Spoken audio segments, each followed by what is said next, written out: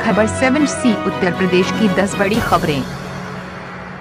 भारतीय cricket team के गेंदबाज मुरादाबाद, निवासी पीयूष चावला के पिता प्रमोद कुमार चावला का कोरोना से निधन हो गया। सोमवार को पीयूष चावला ने अपने आधिकारिक इंस्टाग्राम अकाउंट से इस बात की पुष्टि की।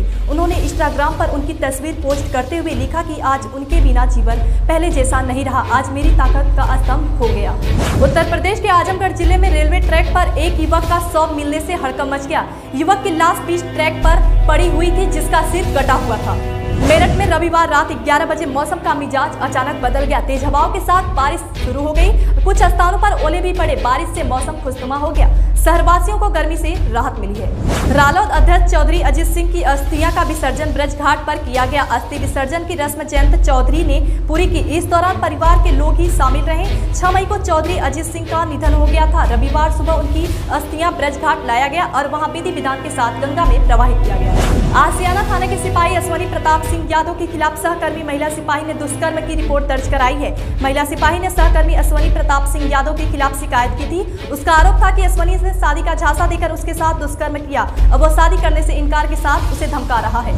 बसपा सुप्रीमो मायावती ने कहा कि यूपी में पंचायत चुनाव की समाप्ति के बाद अब यहाँ खासकर छोटे कस्बों और देहातों में बहुत तेज़ी से कोरोना महामारी के फैलने की दिल दहलाने वाली खबर मिल रही है, जिससे लोग काफ़ी दहशत में है। सरकार को इसकी रोकथाम के लिए युद्ध स्तर पर कार्य करने की सख्त ज़रूरत है। उत्तर प्रदेश की राजधानी लखनऊ में थाईलैंड की इकतालीस वर्षीय युवती की तीन मई को लोहिया अस्पताल में कोरोना संक्रमण से मौत हो गई। यूपी पुलिस ने एम्बेसी में संपर्क किया, वहाँ से स्थानीय गाइडलाइन सलमान को अंतिम संस्कार के लिए ज़िम्मेदारी दी गई। पुलिस ने वीडियो कॉल के ज़रिए परिजनों को अंतिम दर्शन कराने के बाद संस्कार किया गया।